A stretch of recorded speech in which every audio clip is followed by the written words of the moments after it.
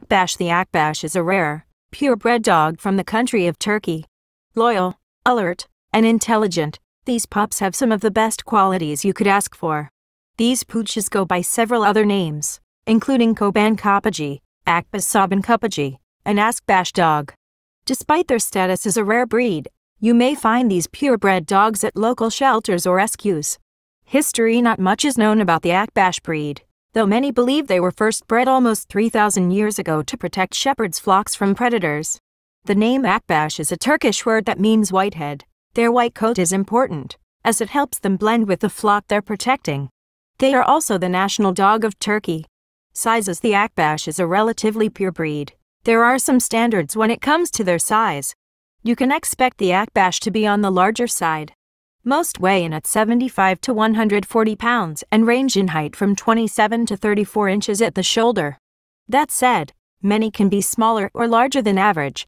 Personality The Akbash is a gentle dog who is very protective of their family. They're independent and like to have their own space from time to time.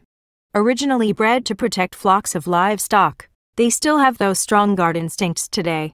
Healthy Akbash breed is predisposed to some of the same conditions that Mastiffs might also face, as there is a distant relation.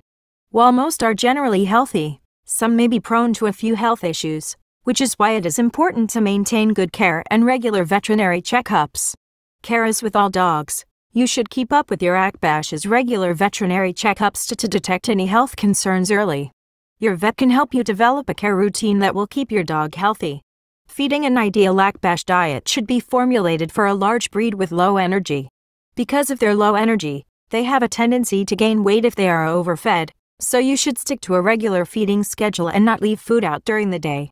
Limit their number of treats, as well. Coat color and grooming Akbash coats are only white.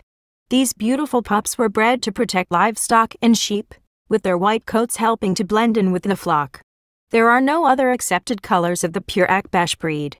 The Akbash has a medium length to the power of double coat. They shed moderately, so a good brushing once or twice a week will help to remove dirt and old hair. The coat can be fairly easy to groom if you keep up with their needs every week.